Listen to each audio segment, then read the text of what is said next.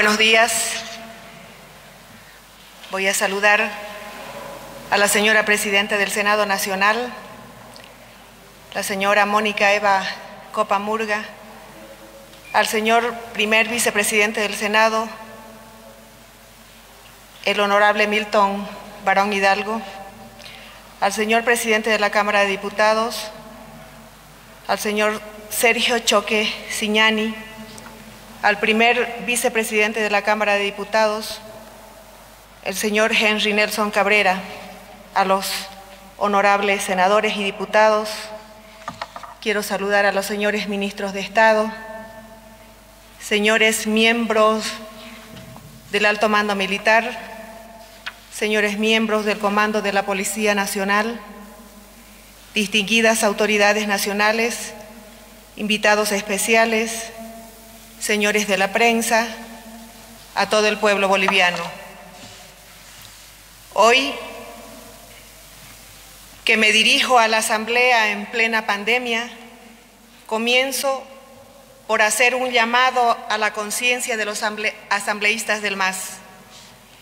Los llamo a que se pongan la mano al pecho y liberen el dinero para pagar el bono salud. Como ustedes saben, señoras y señores asambleístas, la pandemia no solo ha golpeado la salud de los bolivianos, también ha golpeado la economía de las familias en todo el país. Y ha golpeado a todos, pero en especial ha golpeado a las familias de menos ingresos, ha golpeado a los más pobres. Es ante esta situación de necesidad y apuro y es ante esta emergencia que viven millones de personas que hoy hago el llamado al corazón y a la conciencia de los señores y las señoras asambleístas del MAS para que liberen el dinero del bono salud. Un bono que ha decidido el gobierno en beneficio de los bolivianos, que consiste en 500 bolivianos. Un bono que beneficiará a más de 3 millones y medio de personas. Un bono para aliviar las necesidades de tantas y tantas familias de norte a sur, de oriente a occidente de la República. Liberen ese dinero que es para los hogares. Liberen ese dinero que es para los más necesitados. Liberen ese dinero que es para ayudar a millones de personas que ya sufren hambre por la cuarentena.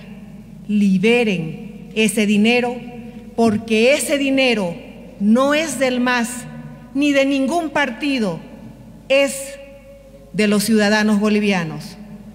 Liberen ese dinero, se los pido en nombre del pueblo boliviano. Liberen ese dinero y el pueblo les estará eternamente agradecidos. Liberen ese dinero porque es para pagar bonos.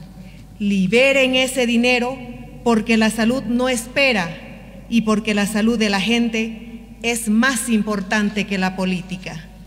Liberen ese dinero porque es para hacer el bien.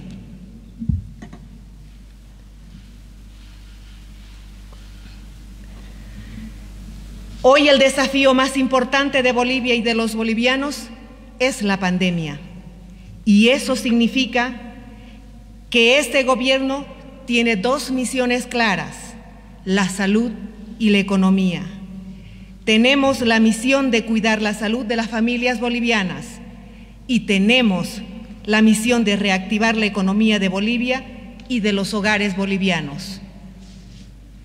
No son misiones fáciles, pero los bolivianos ya sabemos cómo abrirnos paso ante el camino difícil.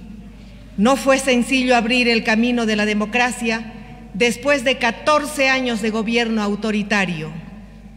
Tras la salida de Morales, nos encontramos con una economía golpeada por el despilfarro, una economía de impresionantes gastos en lujos y en política, una economía de la que salían nuevos palacios o de la que salían museos y estatuas para los caudillos políticos, una economía de la que salían fondos gigantescos e ilegales para repartir la plata de los bolivianos entre las amistades del MAS. Con el precio del palacio que se mandó a hacer el anterior presidente, hubiéramos equipado el mejor hospital de COVID en el país. Había plata para palacios, lujos y amistades, pero no había plata para salud. Y además de una economía marcada por el despilfarro, el MAS nos dejó una democracia destruida, destruida por el fraude electoral, destruida por el autoritarismo y destruida por la amenaza de una guerra civil. Recuerden ustedes, noviembre del 2019, cuando una frase del MAS ensordecía los vecindarios del Alto y de La Paz. Ahora sí, guerra civil. Y por eso, la primera parte de nuestra gestión estuvo totalmente consagrada a pacificar el país. Nos dedicamos con todo nuestro esfuerzo a la pacificación de Bolivia y así a construir la democracia entre todos. Aún tengo en la mente y en el corazón las muchas reuniones de pacificación y diálogo que hicimos en noviembre. Reuniones llenas de incertidumbre, pero también de esperanzas democráticas. Reuniones con los movimientos sociales, con los cívicos como Luis Fernando Camacho, con la Iglesia Católica, con los representantes de derechos humanos, con los representantes de la sociedad civil, con los expresidentes Tuto y Mesa, con los líderes como Samuel, con la ONU, con varios embajadores amigos de la democracia y con tantas mujeres, hombres y jóvenes que pusieron trabajo y esfuerzo para que entre todos alcanzáramos la pacificación y el entendimiento democrático. Y en esos recuerdos guardo un sitio especial para Monseñor Eugenio Scarpellini, obispo del Alto, un hombre de bien y un hombre de fe que puso todo de su parte para lograr la pacificación y la democracia en nuestro país. Mi homenaje y mi agradecimiento a Monseñor Scarpellini. Lo cierto es que tras muchos esfuerzos de tanta gente, la democracia se abrió campo. La libertad de prensa y la libertad de opinión se abrieron campo. Y por eso puede decirse que la convivencia democrática que hoy tenemos, más allá de nuestras diferencias, es un logro de todos los bolivianos. En ese contexto, no lo olvidemos, Trabajamos desde enero del presente año para hacer las elecciones el 3 de mayo. Elecciones que lamentablemente por la pandemia se tuvieron que postergar. En esto de las elecciones, déjenme detenerme un minuto. Quiero decir muy claro lo siguiente. No existe, y escuchen bien, ningún proyecto para prorrogar ni por un solo día el mandato de mi gestión. Siempre hemos dicho y lo seguiremos diciendo con firmeza que vamos a ir a elecciones en la fecha que fije el Tribunal Electoral. Es ese tribunal y no mi gobierno quien fija y mueve las fechas de las elecciones. Ahora ese tribunal ha fijado elecciones para el 18 de octubre y eso significa que el gobierno acepta de inmediato las elecciones para el 18 de octubre. Pero al Tribunal Electoral le pido algo sobre las fechas electorales. sean serios, por favor. Sean serios y dejen de mover la fecha. Sean serios y dejen de jugar con la fecha de las elecciones. Mover las fechas de las elecciones a libre antojo causa incertidumbre y además causa movilizaciones e inestabilidad política en el país. Y señores del tribunal, el país no está ni para juegos de fechas electorales ni para movilizaciones. El país está para cuidar de la salud y para reactivar la economía. Y así, lo último que necesita Bolivia en este momento es un tribunal electoral jugando con la fecha de elecciones y creando descontento y movilizaciones políticas. Como es obvio, le hablo al Tribunal Electoral de poder a poder y respetando profundamente la independencia que tiene como poder del Estado. Del mismo modo que le hablo a la Asamblea, le hablo de poder a poder y respetando de manera milimétrica la separación de poderes. Soy republicana y estoy orgullosa de serlo. Respeto y voy a respetar siempre la independencia de los poderes. Y así, con ese mismo respeto, también le hablaría, si tuviera que hacerlo, al Poder Judicial. Todos estos poderes, como saben, fueron sometidos y avasallados en el anterior régimen. Pero ahora la cosa es distinta. Ahora todos estos poderes gozan de independencia y de autonomía. Son poderes aparte, no solo en el papel, sino en la vida diaria.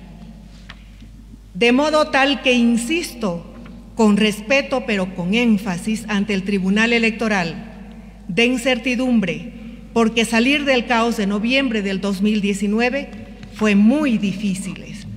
Y ustedes, señores del tribunal, con el juego infantil de mover las fechas electorales sin consultar a los candidatos, no ayudan a la estabilidad y más bien crean condiciones para que los violentos de noviembre vuelvan a sus andadas.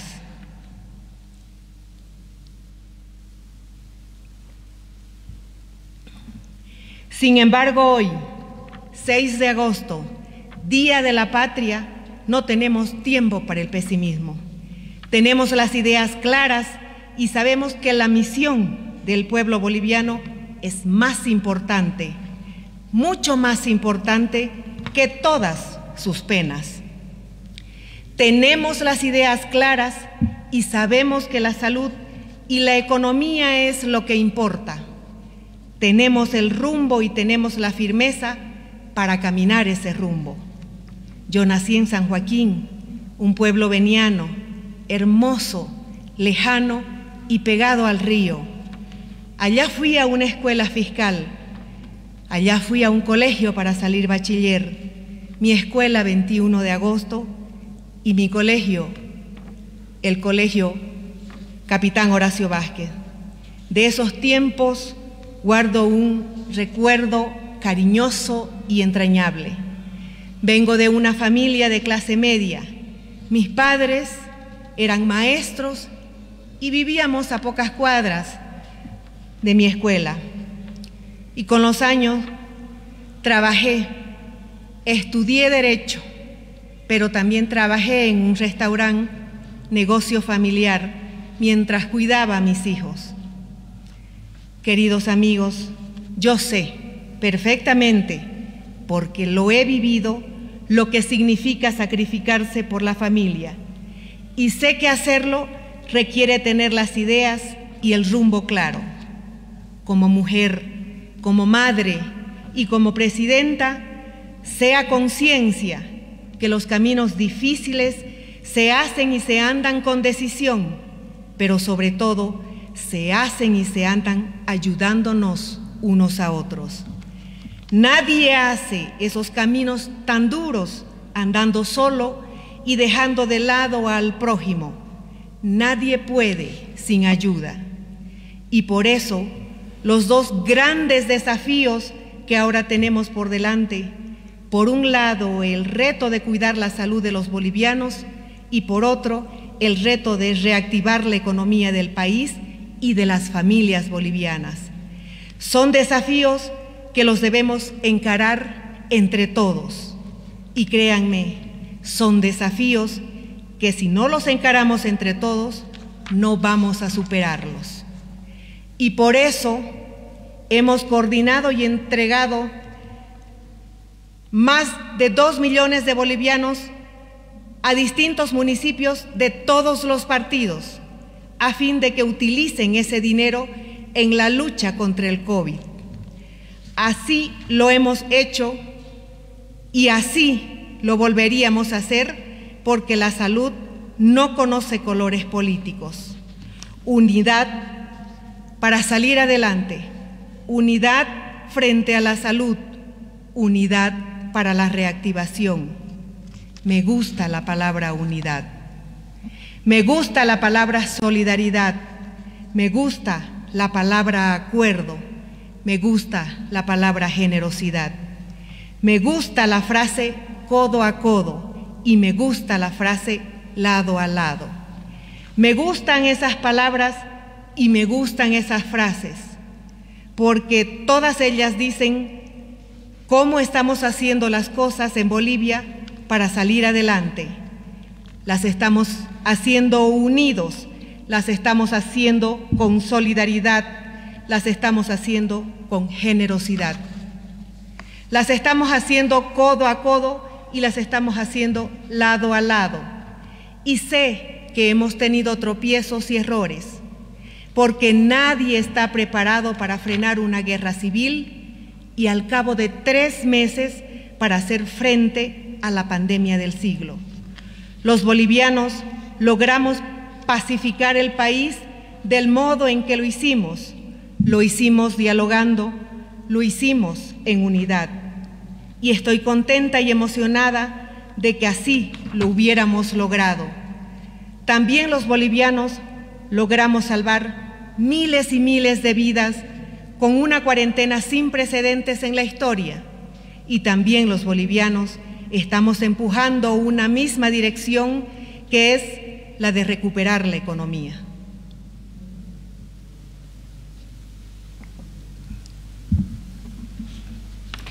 ¿Qué hemos hecho contra la pandemia y por la salud de las familias bolivianas?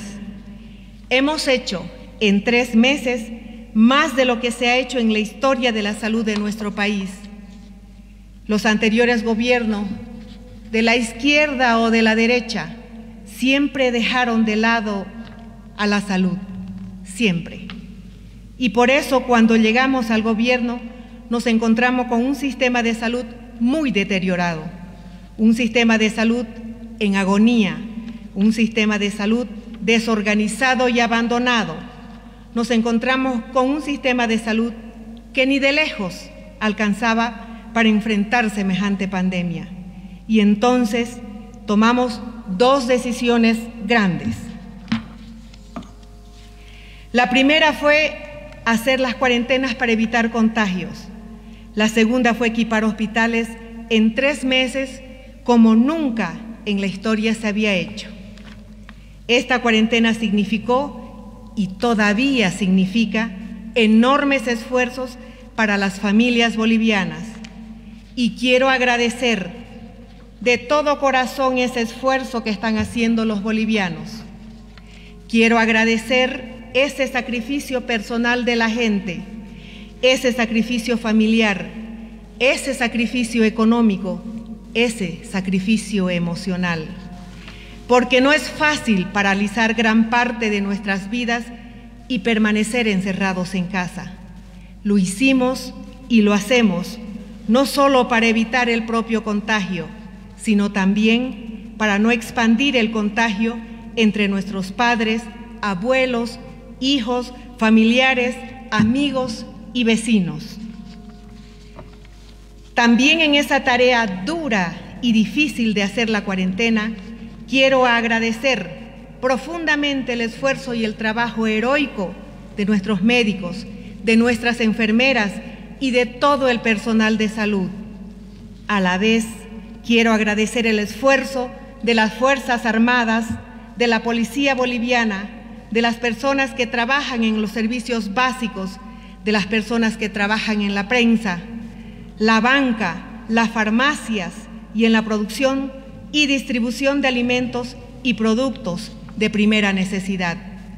A todos ellos, muchas gracias, porque todos ellos han trabajado y se han sacrificado, en muchos casos dando la vida para que la sociedad siga viva y siga funcionando. Estoy orgullosa de los bolivianos y les confieso que se me hace un nudo en la garganta porque ha sido muy difícil, pero sé que todos lo estamos intentando. Hemos hecho una cuarentena buena y nos hemos cuidado unos a otros y más allá de nuestras diferencias, nos hemos portado como uno se porta con una familia, con generosidad, con valentía, con solidaridad. Gracias a todos los bolivianos que hicieron y que hacen posible las cuarentenas que de verdad les digo, salvaron muchísimas vidas. Sirvan estas palabras que dirige la presidenta a la Asamblea y al pueblo boliviano para hacer un homenaje respetuoso a todos los héroes que han dado la vida en la lucha contra la pandemia. Pero en esta lucha contra el virus no solo hicimos la cuarentena, también equipamos y seguimos equipando hospitales con toda la potencia que nos es posible. Más de mil nuevas camas, más de 400 terapias, 30 laboratorios para el COVID-19, más de 7.500 nuevos puestos en trabajos en salud, más de 270 respiradores, más de 190 mil pruebas, inversión fuerte en medicinas para curar de modo gratuito a miles y miles de personas con corona, e inversión fuerte para dotar de trajes de bioseguridad y de otros equipamientos que la infección de este virus requiere.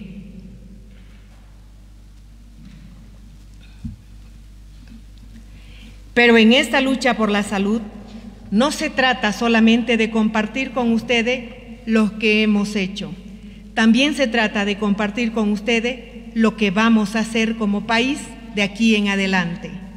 Y por eso anuncio hoy, hoy que es 6 de agosto, lo siguiente.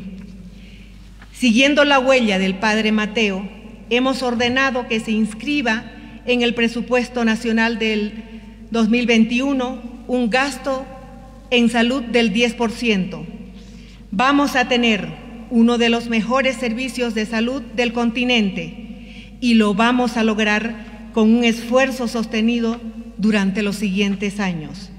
No importa el color de los gobiernos que vengan, porque si estos gobiernos sostienen un presupuesto de salud del 10%, alcanzaremos un sistema de salud que garantice que en Bolivia nadie pierda la vida por falta de una buena atención médica.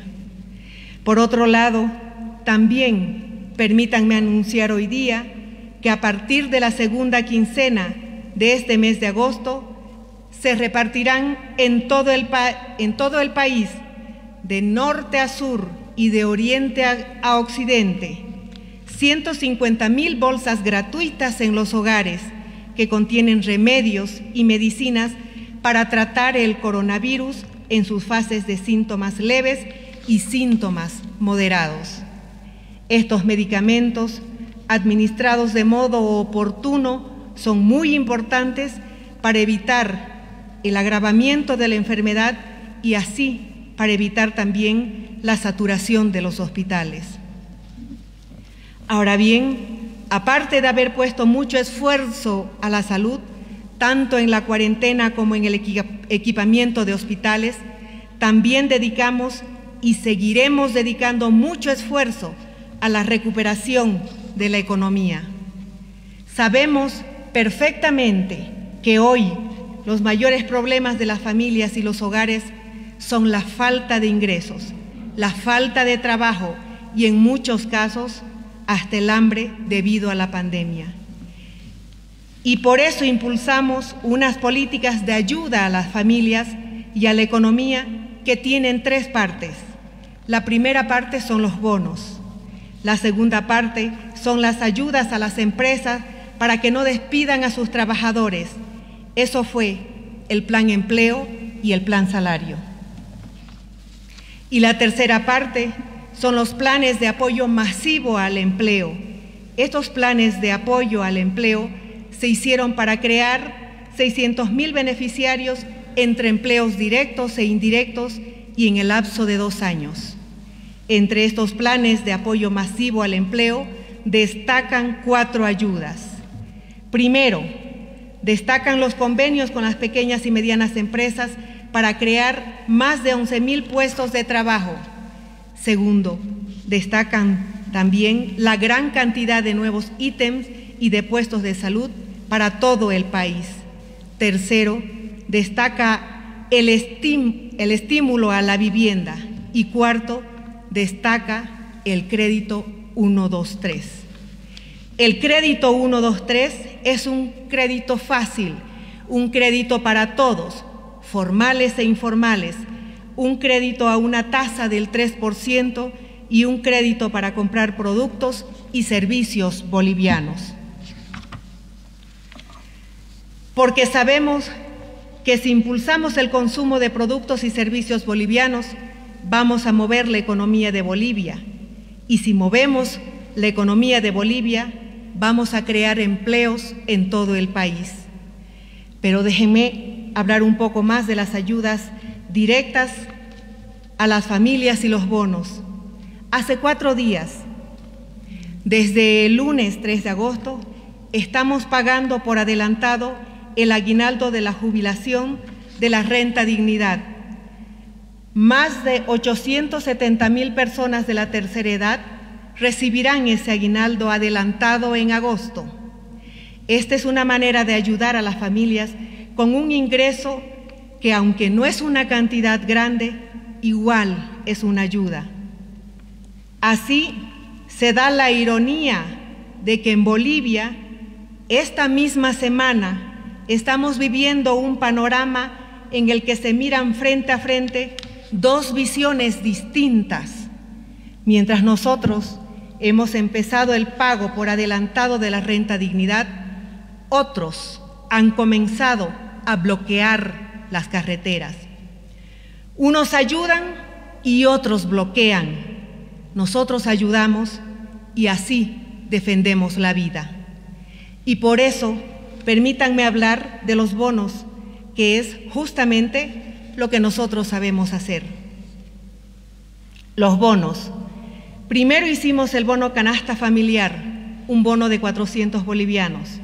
Luego hicimos el bono familia, un bono de 500 bolivianos.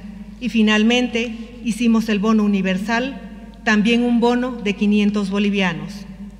En total, Hemos realizado más de 11 millones de pagos en bonos a millones y millones de personas en toda la República. Un alcance nunca vivido en nuestra historia, un alcance que marca un antes y un después en las políticas de bonos, en las políticas de solidaridad y en las políticas de ayuda en Bolivia. Y en este tema de los bonos, permítanme ser muy clara, Estimados señores y señoras de la Asamblea, de aquí en adelante, en Bolivia hay dos caminos. El camino de los que saben hacer solidaridad y el camino de los que no saben hacerla.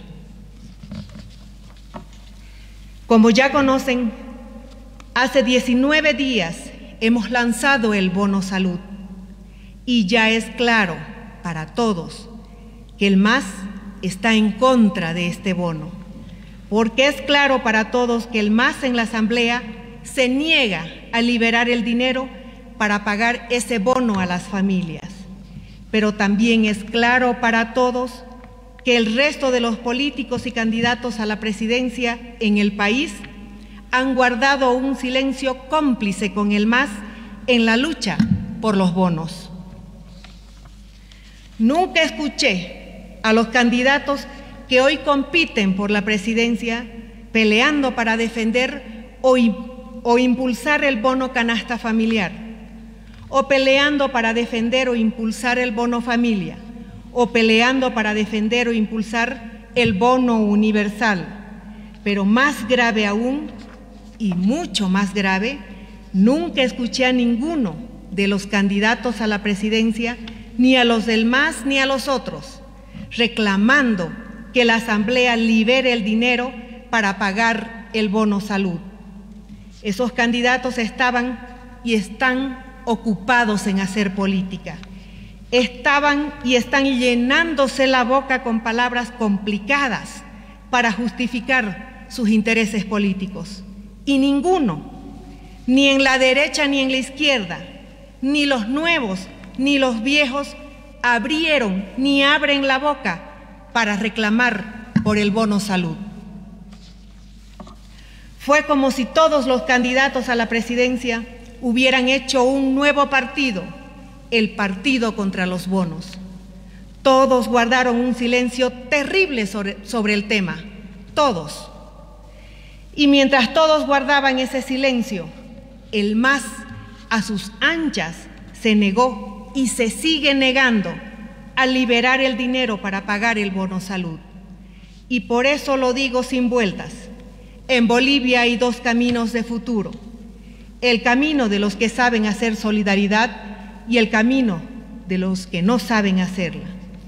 Y también, por eso está claro que a la hora de pensar en el futuro, los bolivianos van a elegir entre los que saben hacer bonos y los que no saben hacerlo. Entre los que saben hacer las cosas ayudándonos unos a otros y los que no saben hacerlo entre los que piensan en la gente y los que piensan en el poder. Ese es el panorama y nunca ha estado más claro.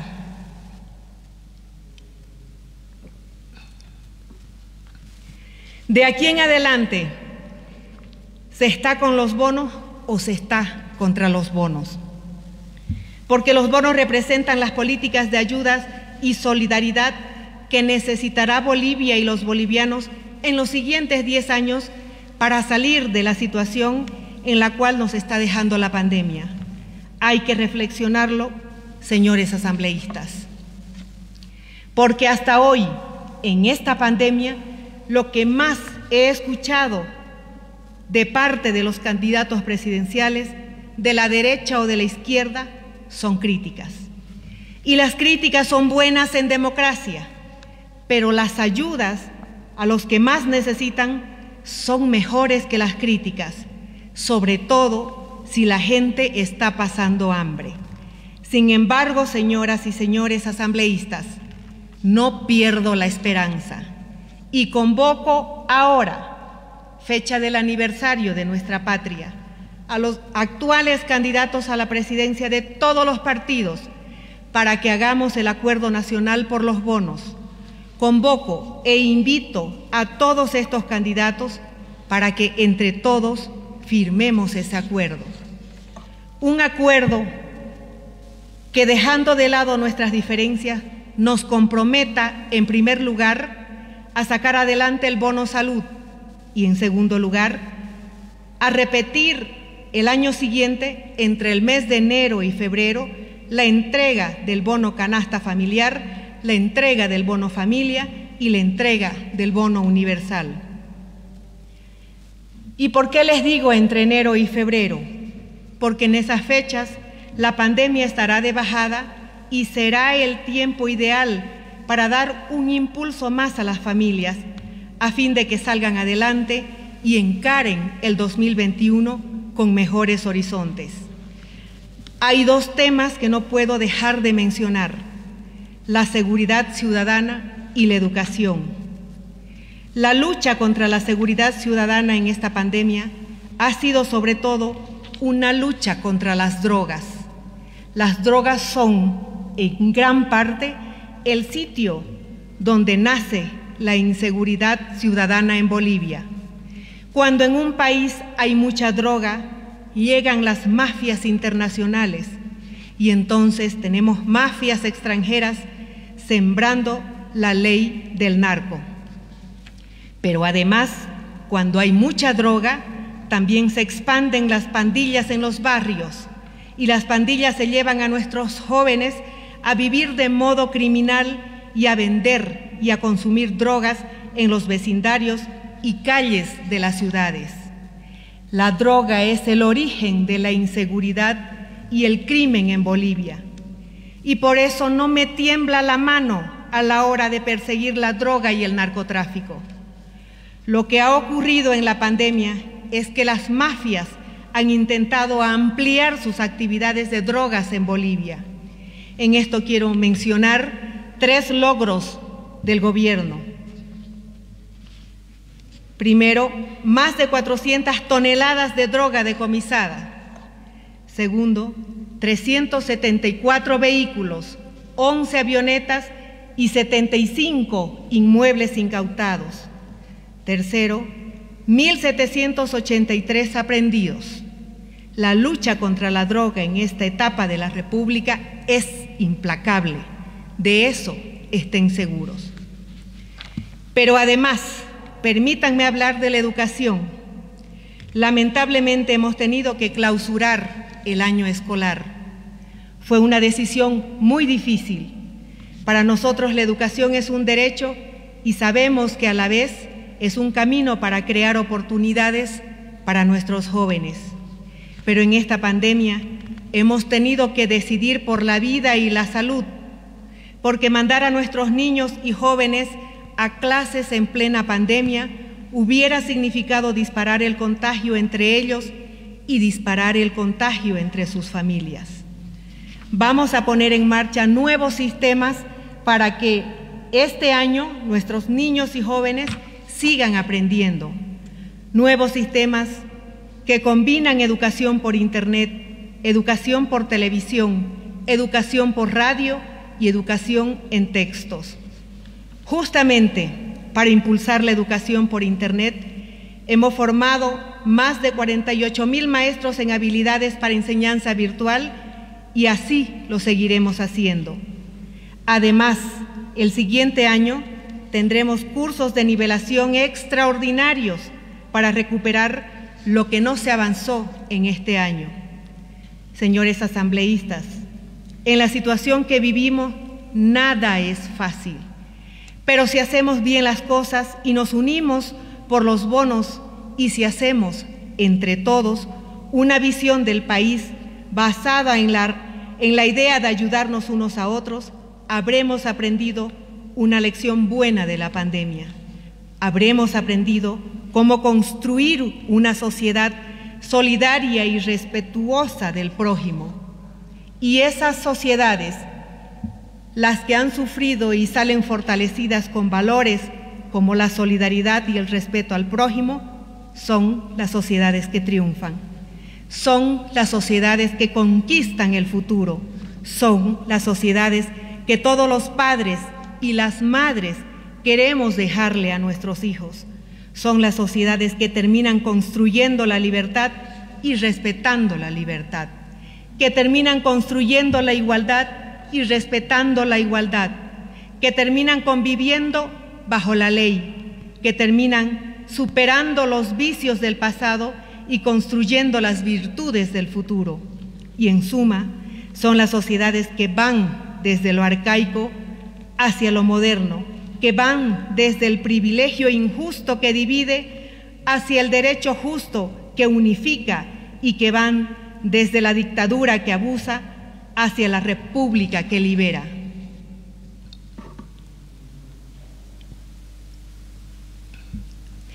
Hoy es un aniversario más de la patria y estamos listos en este aniversario para seguir trabajando de modo solidario por la salud y la economía, que son las necesidades de las familias en estos momentos tan difíciles para la patria. Muchas gracias por haberme escuchado.